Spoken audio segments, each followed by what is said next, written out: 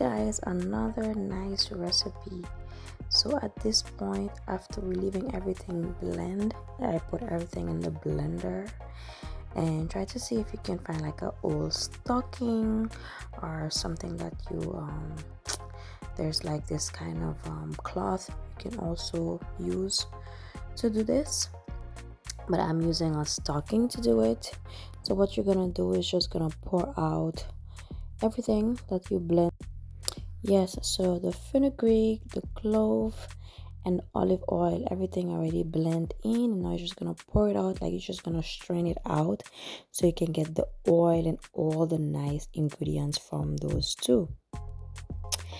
And so this is like our oil guys. It's very simple very simple remedy very simple recipe to do for your hair. And what I went I went ahead and add a little bit more oil because there was a lot left in there usually the video that I saw actually blend it first in like a food processor and then add the oil but I don't have a food processor so I decided to just blend it all in my blender. So then it's just like a little extra work. If you do have a food processor why am i not saying that word correct if you do have a food processor you can go ahead and blend everything first and then you can add the oil. So but i was thinking you have to mix it anyway so i might as well just blend it. And that's why i did it this way with my with the blender.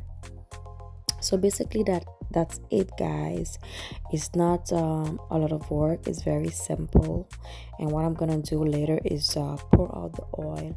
Add a little bit of um, peppermint um, oil in it as well. It's really good for the scalp to massage your scalp.